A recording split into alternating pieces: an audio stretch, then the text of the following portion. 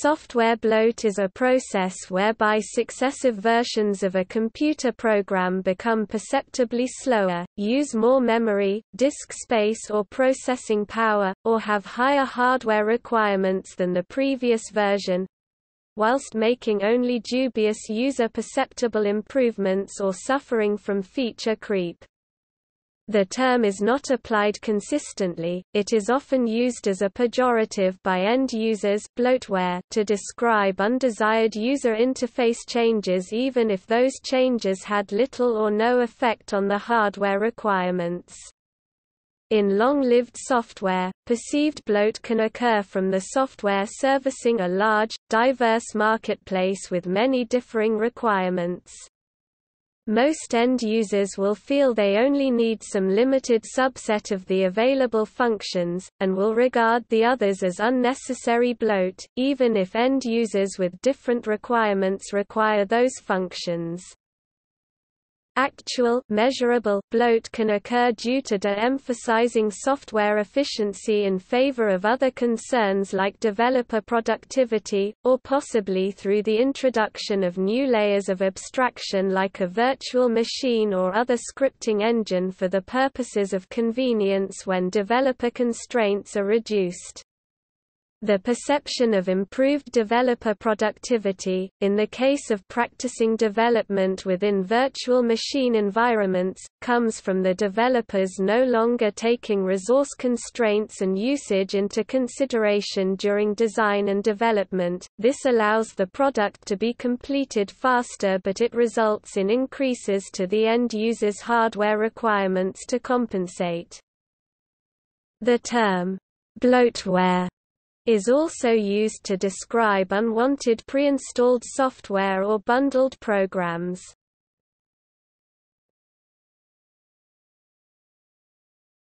Topic: Causes.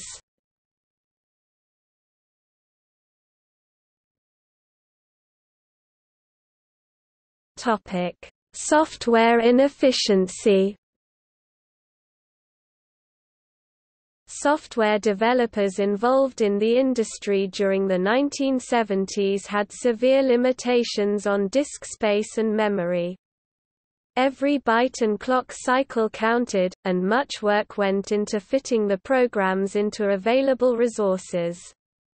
Achieving this efficiency was one of the highest values of computer programmers, and the best programs were often called elegant a term used by mathematicians to describe a proof which is tidy, parsimonious and powerful. By the 21st century, the situation had reversed. Resources were perceived as cheap, and rapidity of coding and headline features for marketing seen as priorities. In part, this is because technological advances have since increased processing capacity and storage density by orders of magnitude, while reducing the relative costs by similar orders of magnitude Moore's law. Additionally, the spread of computers through all levels of business and home life has produced a software industry many times larger than it was in the 1970s. Programs are now usually churned out by teams, directed by committees in software factories where each programmer works on only a part of the whole, on one or more subroutines. Finally, software development tools and approaches often result in changes throughout a program to accommodate each feature, leading to a large-scale inclusion of code which affects the main operation of the software, and is required in order to support functions that themselves may be only rarely used. In particular, the advances in resources available have led to tools which allow easier development of code, again with less priority given to end efficiency.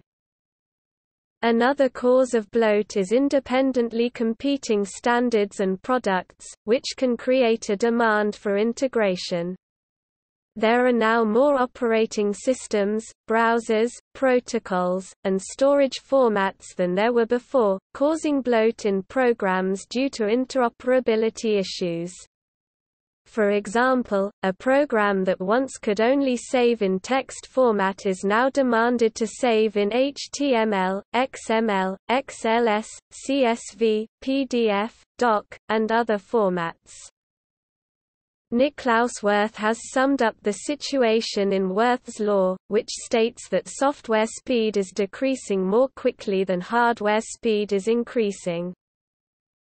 In his 2001 essay Strategy Letter IV, Bloatware and the 80-20th Myth, Joel Spolsky argues that while 80% of the users only use 20% of the features a variant on the Pareto principle, each one uses different features.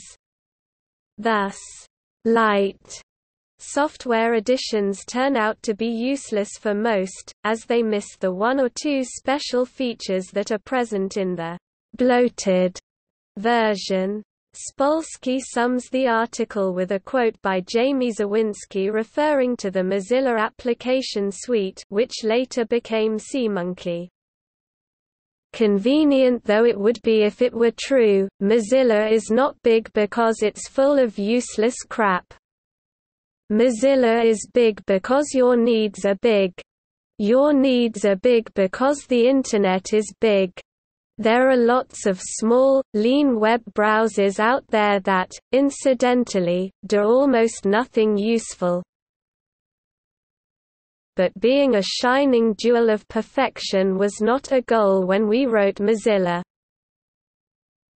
Software bloat may also be a symptom of the second system effect, described by Fred Brooks in The Mythical Man Month.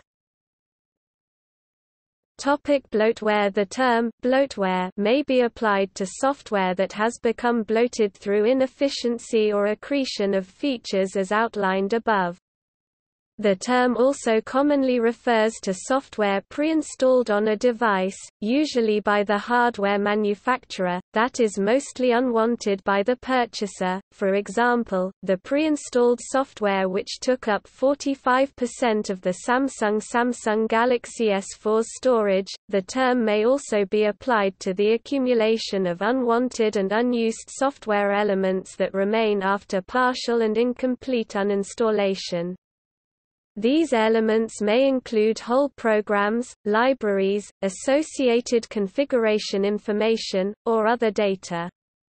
Performance may deteriorate overall as a result of such leavings, as the unwanted software or software components can occupy memory, waste processing time, add disk I.O., consume storage and cause delays at system startup and shutdown.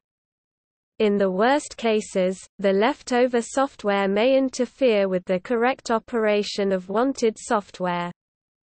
Bloatware can be easily removed if the user has root access on his or her smartphone, though the rooting process has its own advantages and disadvantages, such as voiding the manufacturer's warranty.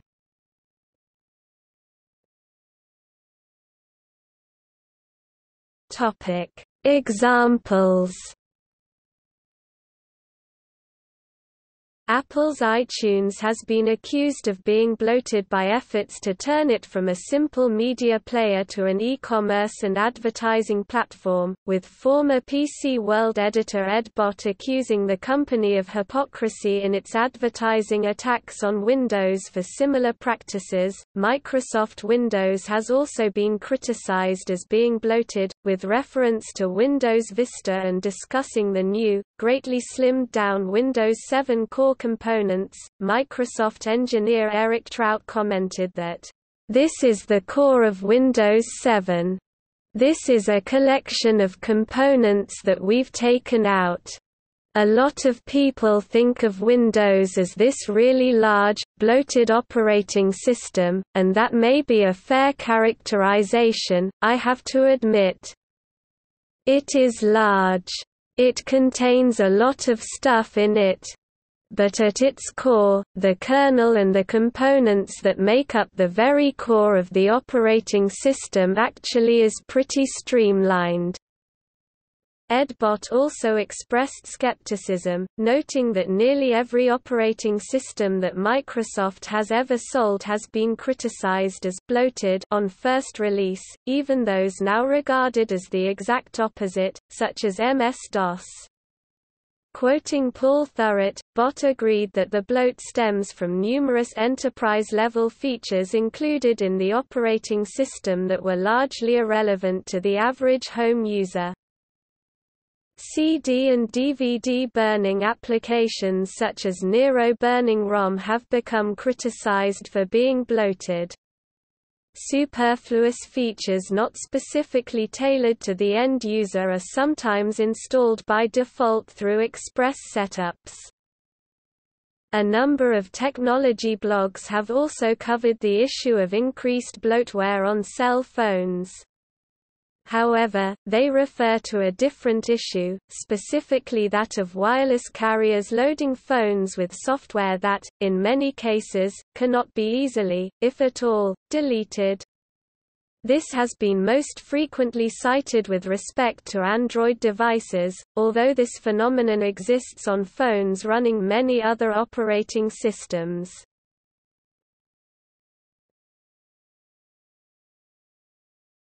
Topic: Alternatives. Some applications, such as GIMP, and software with additional functionality from plugins, use extensions or add-ons which are downloaded separately from the main application. These can be created by either the software developer or by third-party developers. Plugins, extensions, and add-ons add extra functionality which might have otherwise been packaged in the main program. Allowing these plugins, extensions, and or add-ons reduces the space used on any one machine, because even though the application, the plugin interface and all the plugins combined are larger than the same functionality compiled into one monolithic application, it allows each user to install only the particular add-on features he or she requires, rather than forcing every user to install a much larger monolithic application that includes all of the available features.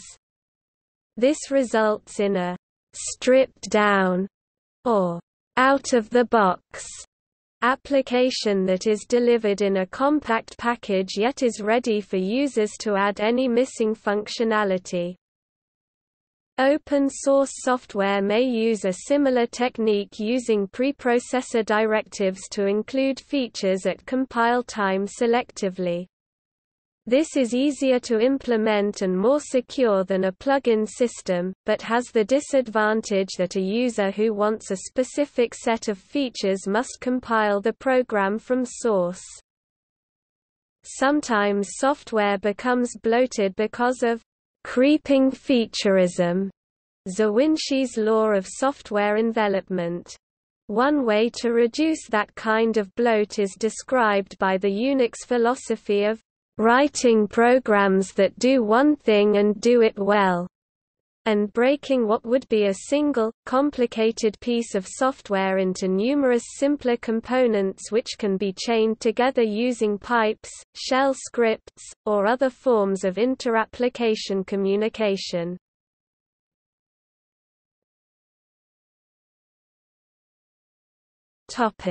See also Code bloat Feature creep Minimalism computing Software rot Software suite Wirth's law Zawinski's law of software envelopment